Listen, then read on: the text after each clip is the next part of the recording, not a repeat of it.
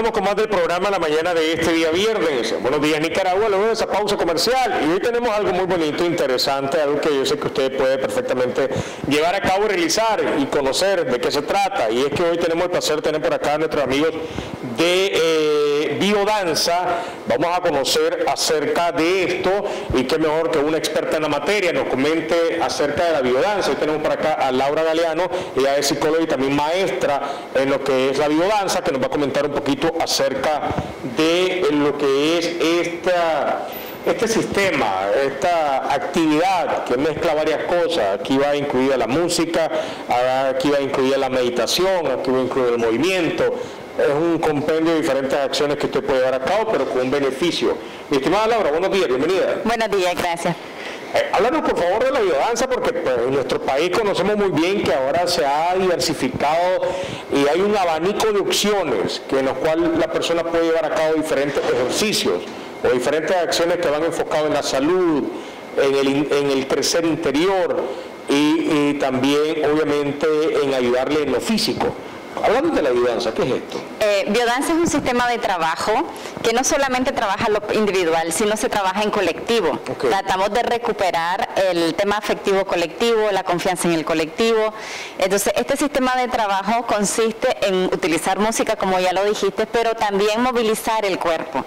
Eh, permitirle al cuerpo que se desestrese, que se activen todos los sistemas que pueden estar trabados en eso, el sistema digestivo, el sistema respiratorio, eh, el tema del estrés o la musculatura también se trabaja. Entonces, el autor optó por tener cinco líneas de vida que dice que el ser humano viene con esas cinco cosas que se pierden en el constante ajetreo de la vida.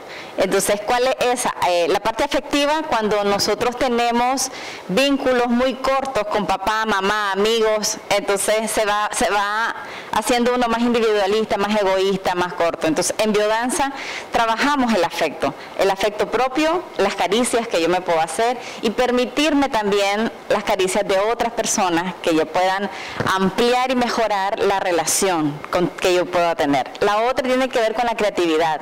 Esas cosas que yo desde niño puedo ampliarme, hacer, generar que la voy perdiendo por la rutina, por la cotidianidad, por el, bloqueo de una regla o norma que me dice, eso no se hace así, hacerlo así. Y Einstein y un montón de, científicos han descubierto cosas para hacer cosas diferentes, por crear cosas diferentes. Entonces, en biodanza nos permitimos crear movimientos, crear miradas, crear eh, soltura del cuerpo y también nos ayuda en lo cotidiano por ejemplo, nosotros decimos, no te vayas al trabajo en la misma ruta todos los días. Ya uno se vuelve monótono, ya el cuerpo se estresa, ya uno hasta agarra la posición del vehículo, del autobús y llega sumamente cansado y siente que tus días van uno tras otro como si no fuese nada importante y no pasara.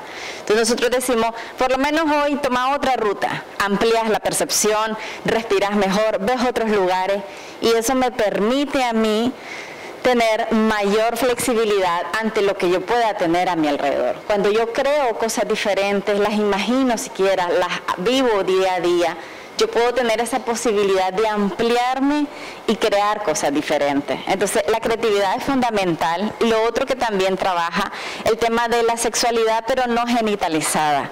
La sexualidad vista desde el placer hacia lo que se hace. Em, entre ellas está el placer de respirar, que se nos olvida muchas veces. Uno dice, ay, si estoy vivo, respiro, pero se nos olvida respirar, tomar una pausa, e, incluso beberse el cafecito de la mañana, uno se lo bebe y está como en tres cosas. Las mujeres que casi siempre están en dos, tres cosas, viendo al niño, viendo el café, viendo al marido o haciendo lo del vehículo. Tomarte un respiro y poder ver que podés crear esas, esas condiciones en las que tenés la pausa de poder eh, permitirte em, generar un, un, nivel o un ambiente, tanto a nivel familiar, a nivel de pareja o a nivel laboral, que sea más agradable, que sea más, eh, más sensitivo, que sea placentero realmente. No solamente lo sexual nos da placer, el, roce de una caricia, unos buenos días, una sonrisa, una gracia, ver el sol o, tocar grama o lo que fuera, cosas pequeñas que nos permitan. En, la sesión de biodanza recuperamos ese contacto afectivo con las otras personas, ese placer de permitirme una caricia que chiquita me, me peinaban y me era grato, poder también recuperarlo cuando soy grande. Entonces eso me lo permite. Y la otra es el tema de vitalidad, que precisamente es como esa, ese balance que el ser humano debe de tener entre lo que hace y lo que descansa. Si yo hago 10 cosas y descanso 2, estoy desbalanceada, estoy desnivelada. Tendría que tener un equilibrio para poder realmente estar, que mi organismo funcione bien, estar en armonía, estar bien, respirar. Así como se toman las pausas cuando uno tiene rutina de yoga, tiene rutina de meditación, también en la vida cotidiana podemos tener esos descansos, esas pausas que tenemos. y entonces, Laura, que de la cotidianidad del día a día, cada uno de los seres humanos pueden llevar a cabo yoga y que perfectamente pueden, usted mencionaba esto no solo va con el movimiento, con la música, esto va con pausa, esto va con creatividad, esto va con el aprecio, esto va con eh, la capacidad de asombro, que obviamente los adultos perdemos, que los niños sí la tienen, pero con el paso del tiempo, ya lo decía, por diferentes monotonías, dejamos de hacerlo.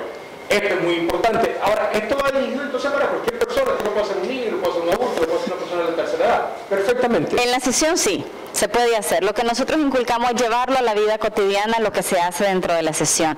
Lo que sí tenemos gente, hay una persona especializada para trabajar con niños. Entonces, en los grupos en los que nosotros tenemos, trabajamos con personas mayores de, de 11 años. De 11 hasta 110 años podemos trabajar con ellos. Se puede trabajar en parejas, en familia, con amigos, personas desconocidas, la mayoría de las veces. Y en la sesión lo que hacemos, eh, espacios de convivencia, de con música, todo con música, no se habla, no se trabaja el razón, se trabaja la emoción y el cuerpo y lo que se siente. Entonces, en, la sesión que pueda expresarse en, en canciones, en expresiones y en movimiento precisamente. Laura, en televisión es rápido, se nos va el tiempo de una manera increíble, nos quedan dos minutitos. Eh, ¿Dónde están ubicados? Y para mayor información, ¿cómo pueden hacer nuestros medios televidentes y números telefónicos y redes sociales para que ellos se puedan involucrar y sean partícipes también de lo que es la biodanza y obviamente el poder llevarlo a cabo? Por favor. Tenemos dos lugares. Uno es en Casa Abierta, que queda aquí nomasito de la rotonda del Huehuense, una cuadra hacia abajo, una laguna abajo. Y la otra está, que son los días miércoles, la otra son los días jueves que está en Residencial Punta al Día por Holiday Inn Express eh, en la casa número 2, que es un lugar que tenemos. Y el teléfono de contacto que tenemos ahorita, que es una compañera, es el 8244-1317. Ahí está apareciendo en pantalla ahorita para que puedan llamar y pedir mayor información acerca de lo que es biodanza, llevarlo a cabo y practicarlo.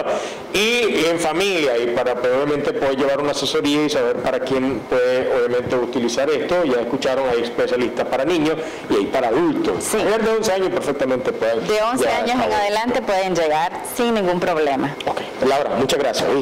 gracias por traer nuestra información y sobre todo de la biodanza para conocer todo lo que puede usted practicar medio televidente y lo que se encuentra en nuestro país a su alcance para cambiar el hábito en la cotidianidad, como mencionaba Laura, y el sentirse mejor, feliz, gozoso, el disfrutar que es lo más importante, pero de la manera más sabia y más correcta. Nos vamos a ir a una pausa y venimos con más.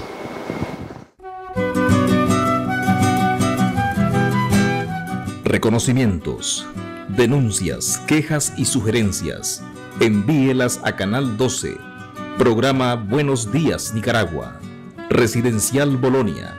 O llámanos a los teléfonos 2266-0691, 2266-9983, 2266-9984.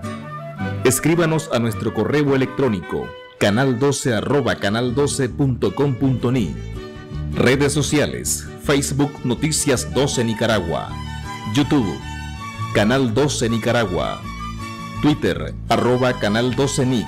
Visita nuestro sitio web www.canal12.com.ni.